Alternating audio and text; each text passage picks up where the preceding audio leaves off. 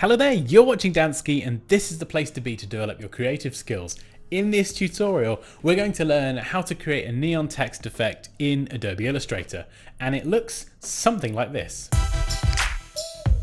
So let's jump into Illustrator and figure out how on earth we're going to create this. So I've created a new document, 1920 by 1080 pixels and the color mode is set to RGB. And the first thing we're going to do is select the rectangle tool and draw a rectangle that is the same height and width as our artboard. And we can do this by left clicking and dragging, or if we know the dimensions, we can left click and type our 1920 by 1080 dimensions and click OK. And from the color picker, we can select a fill color of RGB black, that's all the way in the bottom left corner, and we'll remove that stroke. And we'll just shuffle that into position and we can then go to object, lock and selection or we can keep the background on its own separate layer and from the layers panel double click the text and type background. So it depends how you prefer to work and if we hover over next to the eye we can click in that space and it will lock the background and from the bottom of the layers panel we can make a new layer and call it text.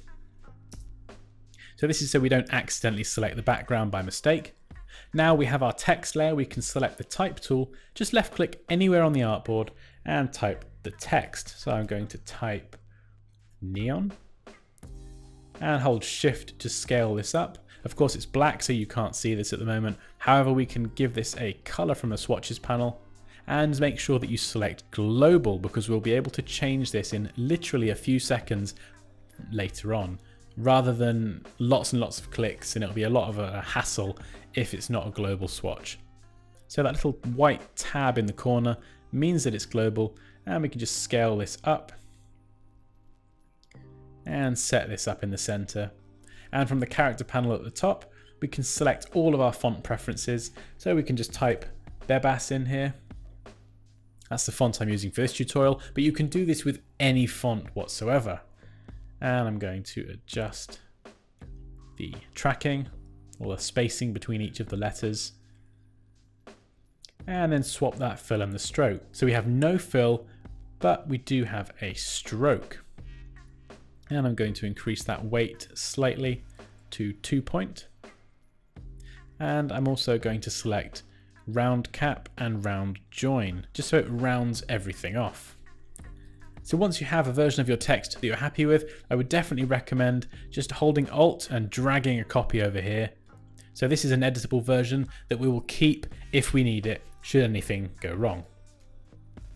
So we can go back to our main version and with this selected, go to type and create outlines. Now this text is no longer editable, but we can do some other stuff in Illustrator. So if we select this now, we can use the scissor tool. That's located by left clicking and holding on the eraser tool. You'll find the scissor tool underneath and we can go and snip out some parts of this text. This is to reflect actual neon lighting in real life. So we can just click and click again and it will allow us to remove that space in between. So I'm going to do this for each letter. Try and make the, uh, the incision the same height for each letter, but if I don't get it exact, we can change that later on. And we can do more than one, we don't have to do just one.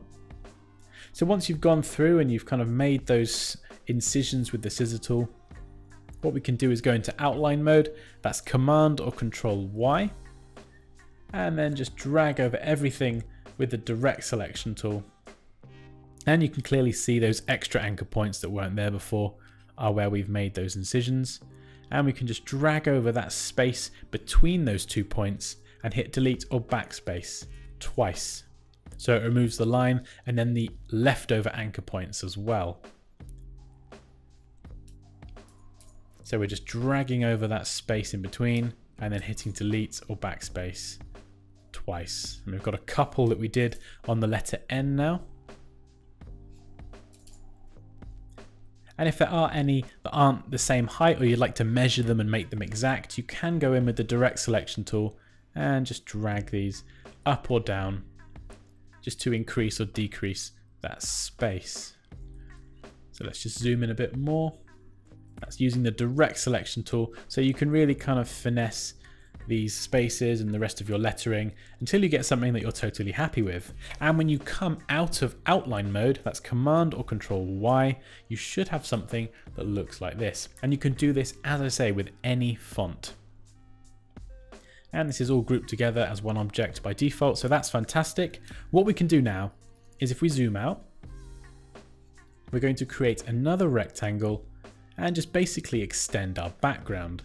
And we can use the eyedropper tool to quickly sample that same black background and go to Object, Lock and Selection. So our background is now locked. Now we're going to need to put our neon text layer to the front because if we drag it up, it will go behind this black block that we've added. So we can do that by going to Object, Arrange, Bring to Front, and now it's on top of everything.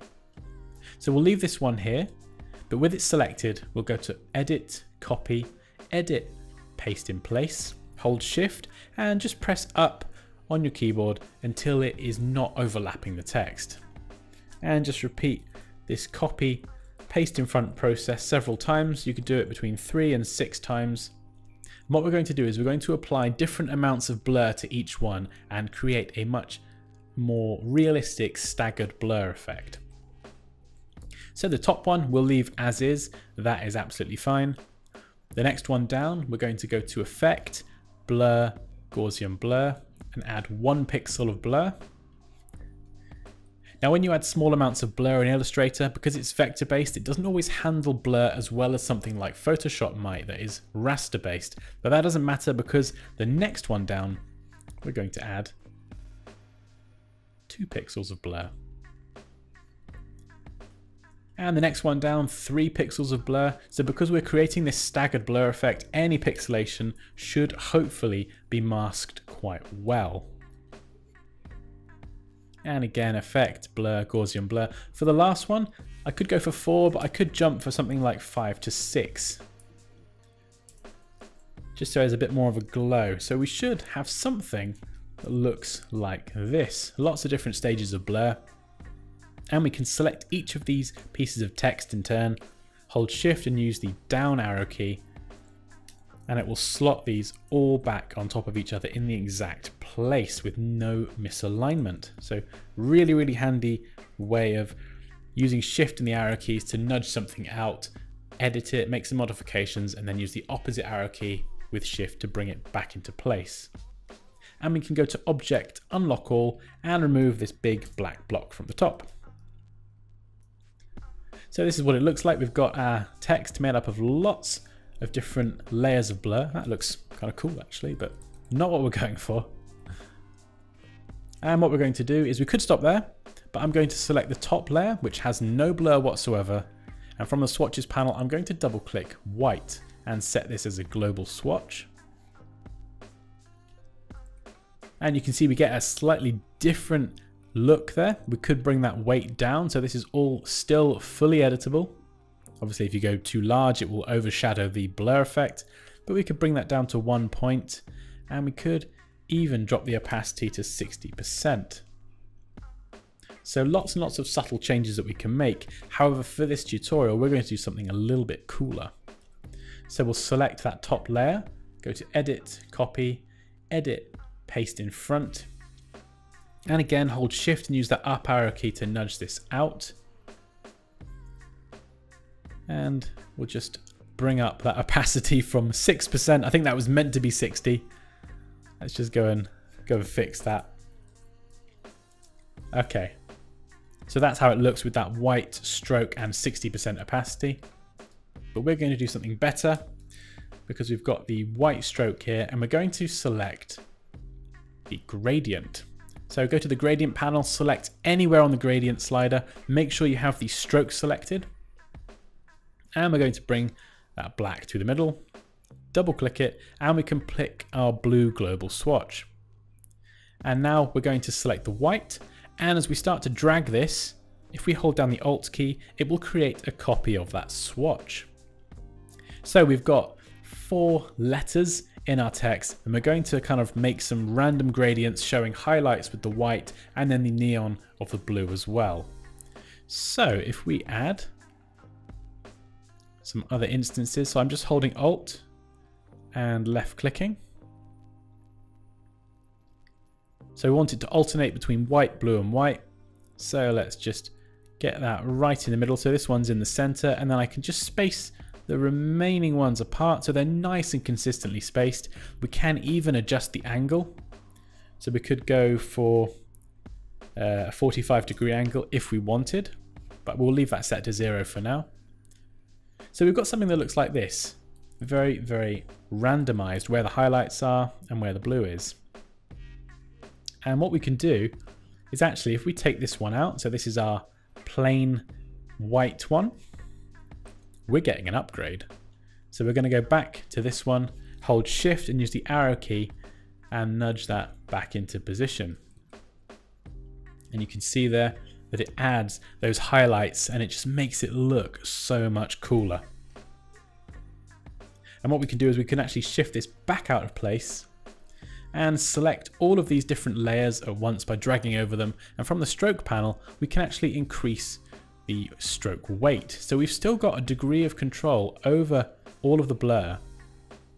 And we can actually select the layers individually and from the appearance panel, adjust the blur if we want. It's a bit of a faff trying to pick all these layers apart, so you might prefer it having each piece of text on its own layer. So text 1, text 2, text 3, it depends how you work. So we've increased that blur and I'm actually going to add another one. So if we go to edit, copy, edit, and this time we're going to go paste in back. And from the appearance panel, I'm going to bump this up to 10. So you can see there we've just added another blur piece of text at the back with a really large blur. So it's just creating a glow around the lettering. And we can hold shift and use the down arrow key to shuffle that back into place now. And of course that layer on top with our crazy gradient, we can still adjust that. We can make it thinner, thicker, depending on what we're going for. And we can also bring that down ever so slightly in the transparency panel, just so those highlights aren't as intense if we'd like it to be a bit more subtle. And there we go. That's how to create neon text in Adobe Illustrator. As always guys, please feel free to leave any questions or comments down below. Like this video if you enjoyed it. Take care and I'll see you next time.